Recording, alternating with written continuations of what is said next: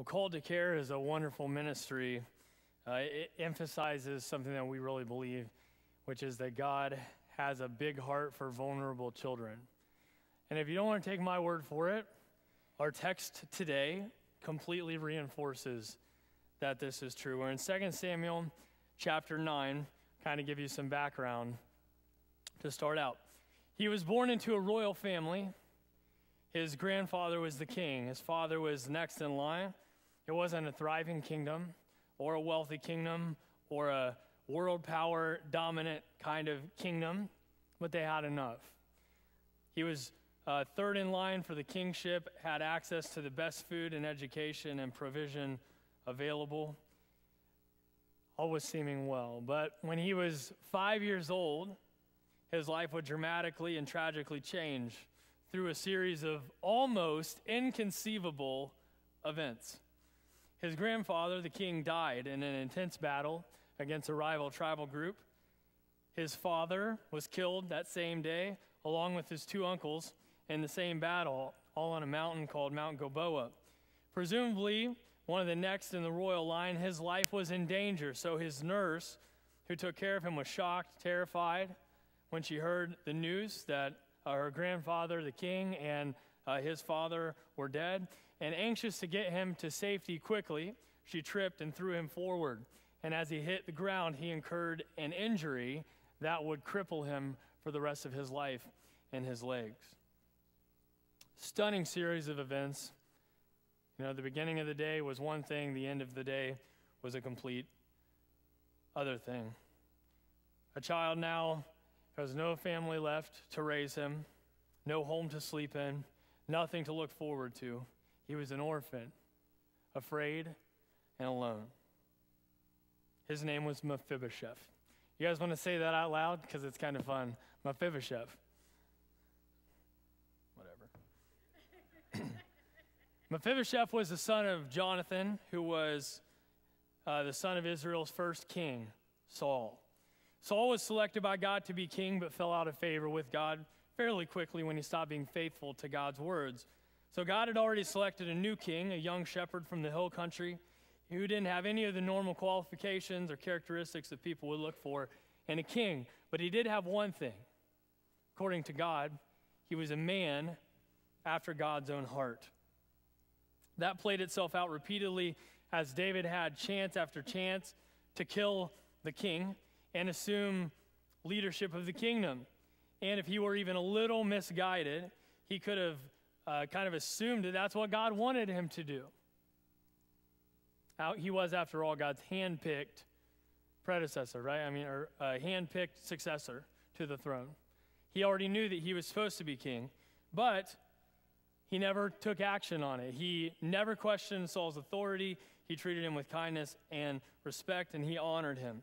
He said, If God wants me to be king, he can make me king. He can do it without my help. And because he remained faithful to God, and in David's words, God, God's anointed one, the king. Um, he was blessed.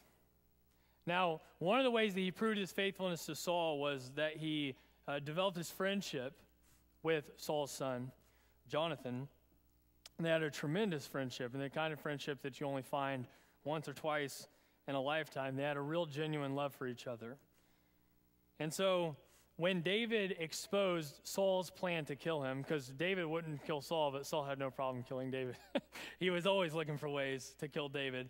And David says, Hey, uh, Jonathan, your dad's trying to kill me again. And if you help me, uh, that'd be great. And so Jonathan does help him. And because of that whole sequence of events where Jonathan helps him, Jonathan asks this of David um, As long as I live, this is in 1 Samuel 20, Promise me that you'll show me kindness because of the Lord, and even when I die, never stop being kind to my family. The Lord will wipe each of David's enemies off the face of the earth. At that time, if Jonathan's name is cut off from David's family, then may the Lord punish David's house. Once again, Jonathan swore an oath to David because of his love for David. He loved David as much as he loved himself. So the two of them make this covenant together where David agrees that he's going to take care of Jonathan's family even if Jonathan and all of Saul's family pass away. Well, that's exactly what happens, right? Go fast forward back to that day, that tragic day for Mephibosheth. He's now crippled. He has lost his heritage. He's now sent off to live in this desolate place called Lodabar, and translated that name means land of nothing, which is a cool name for a city. Mephibosheth has been reduced to having nothing. The only thing that's left is his life. That's all he has. And that could possibly be in danger because it was custom that when a ruler was defeated, his family would be killed as well.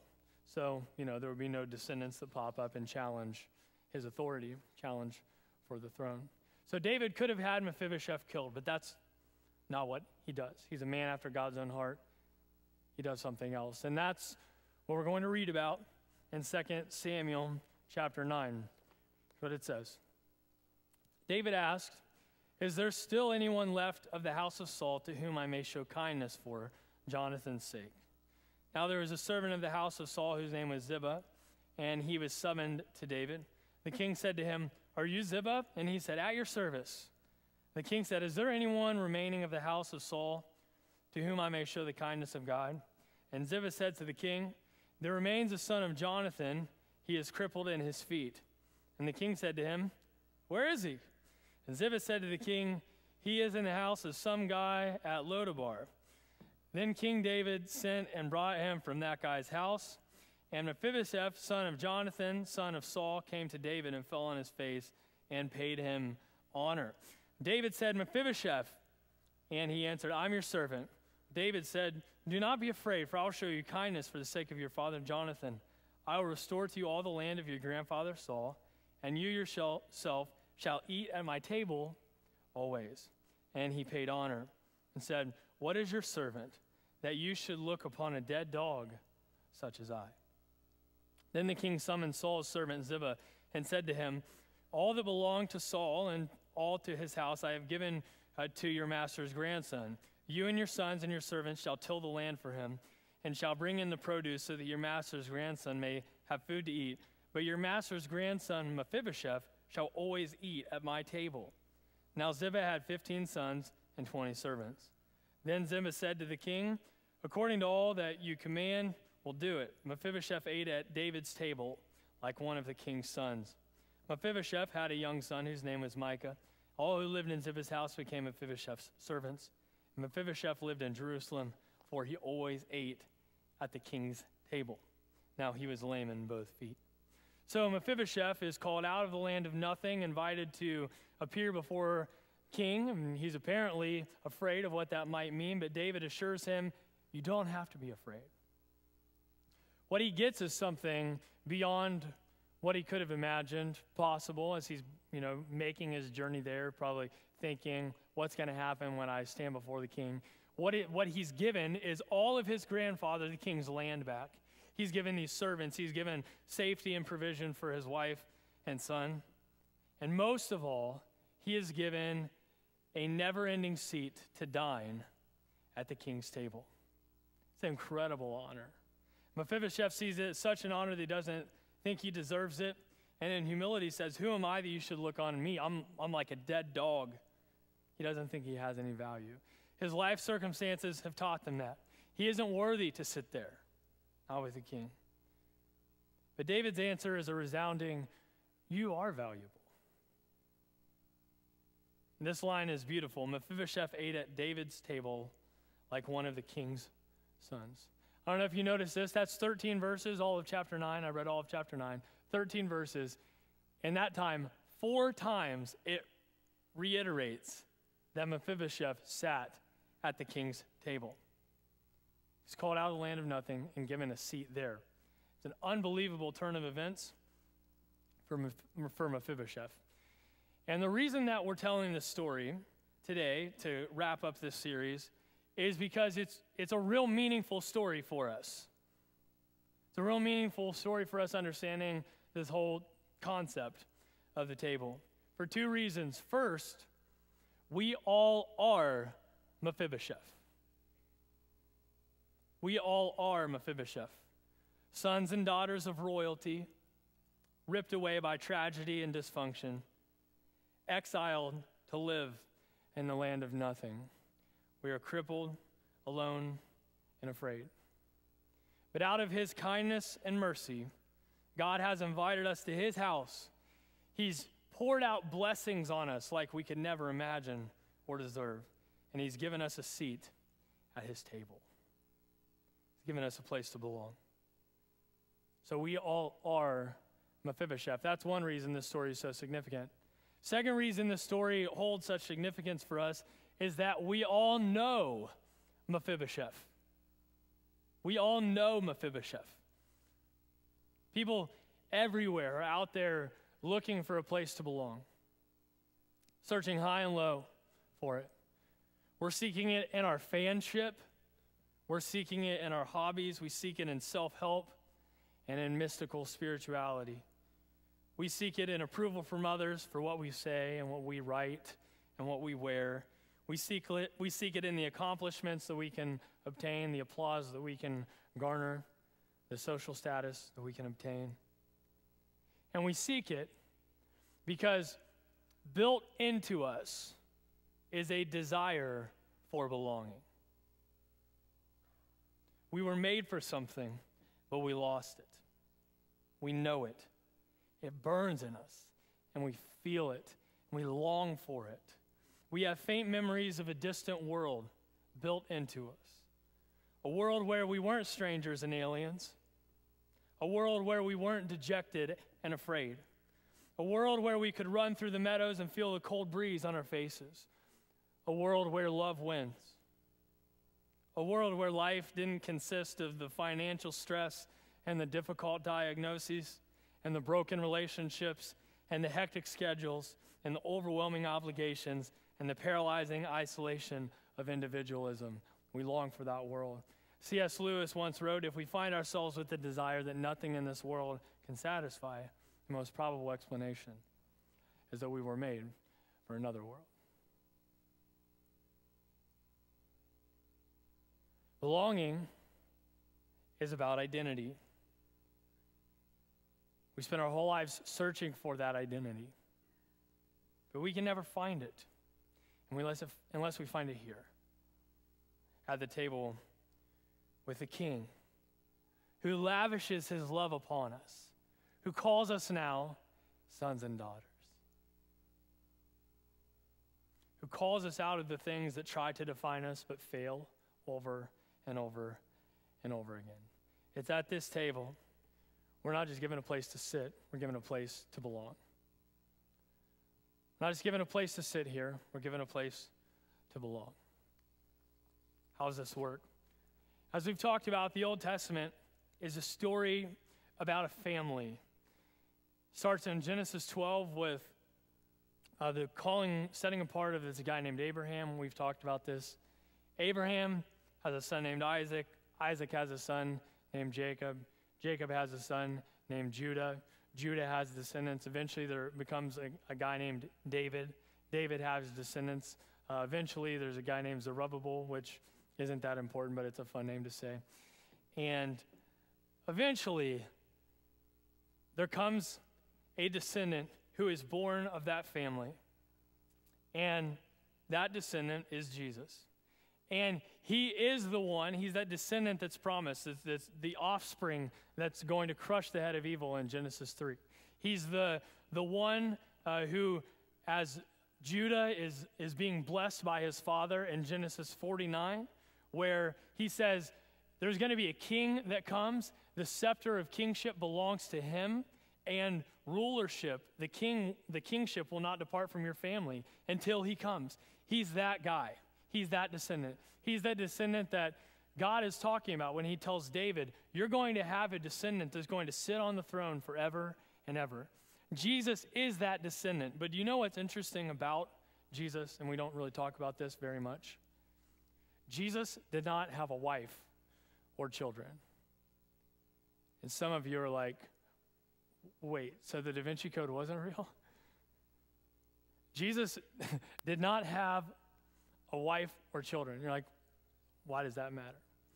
Well, because the whole story is, is pointing out towards this descendant. And so they're having children and having more children and having more children and having more children. Jesus does not end up having any physical children. he does something else. He extends an invitation for all people to become a part of God's family as his sisters and brothers. Paul, one of the writers of the New Testament, grabs a hold of this piece of theology and he says this that you and I, people who are adopted into God's family, are now co heirs with Jesus. We now get to participate in his inheritance as sons and daughters. So there are no cousins in the kingdom of God, there are no uncles in the kingdom of God, there are no grandparents or grandchildren in the kingdom of God. There are only children of God. We are joint heirs with Christ, participants in the inheritance that he has given. You really believe that? You really ever come to grips with what that means? With how significant that is? We've been talking for the last four weeks about these base communities, all leading up to this week, and this week is the invitation week. This is where we're going to ask you to do something. We're going to ask you to take a step forward into something. It's an invitation week. But I want you to hear very clearly what I'm about to say. We are not asking you to sign up for a small group. We're not asking you to sign up for a Bible study or a journey group, if you remember those. What we're asking is for you to te- take a step forward into a base community where you can experience the church coming to life, where you can be active in the church, where you can learn to become the church, to live as the church. And when I say the church, I don't mean Crossview and the stuff we do around here and all the programs that are happening. That's not what we mean when we say step into experiencing the reality of the church. We're not trying to get you to come to more stuff here. When we say Crossview, or when we say the church, we're not talking about Crossview, we're talking about the ecclesia, the universal church, the called out ones on this earth who have given up everything to follow Jesus, who love each other with a kind of love everyone else looks at and says, What is that?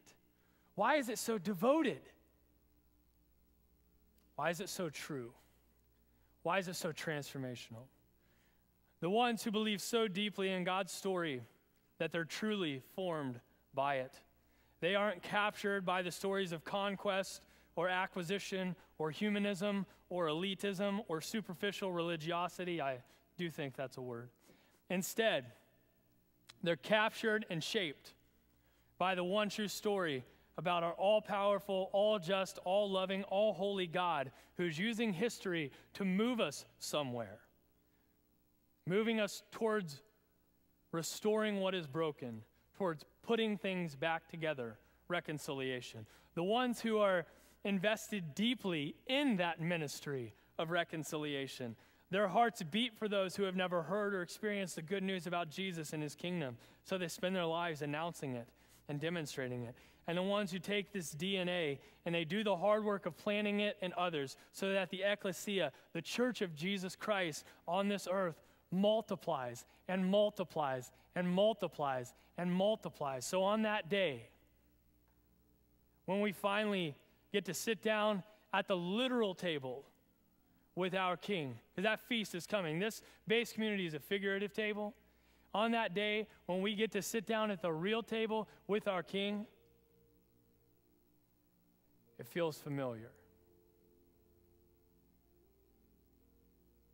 Because in our homes and in our neighborhoods and in our cities, we had already feasted around tables with Jesus among us.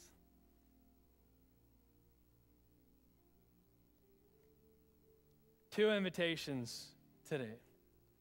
First, for you who might come here and sit down in these seats and sing a few songs and listen to some teaching and try to adjust your life a little bit so long as it's still comfortable for you. Wear a mask on your way out that reinforces that you're doing just fine. I want to talk to you for just, for just a second. It's time for you to reject that Christianity because it's not real, it's not full. It's not what Jesus has invited us into. We long for you to experience the reality of the church because it's otherworldly, it's beautiful, it's beyond description. Step into a base community where you experience the church coming to life. You say, I've never experienced that. The church feels dead to me. Right. Step into a base community where you can experience the church coming to life. That's the first invitation. Second is for those of you who feel so lost in this world. You've been searching for a place to belong, but you haven't found it. You don't know who you are. Let me tell you who you are. You're a child born into royalty, but ripped away by tragedy and dysfunction, exiled to live in a land of nothing. You are crippled, you are alone, and you are afraid. Listen, out of His kindness and mercy and generosity, God, the Creator God, King, Father, has invited you back in. He has invited you home. Invited you to find a place where you belong at His table. Leave behind your regrets and mistakes. Throw out those false stories that you've been chasing and come sit down at this table. Receive the good news about Jesus and His kingdom. Let's stand together. Let's sing this song. And if you want to respond to either of those invitations, I would love to speak with you up here.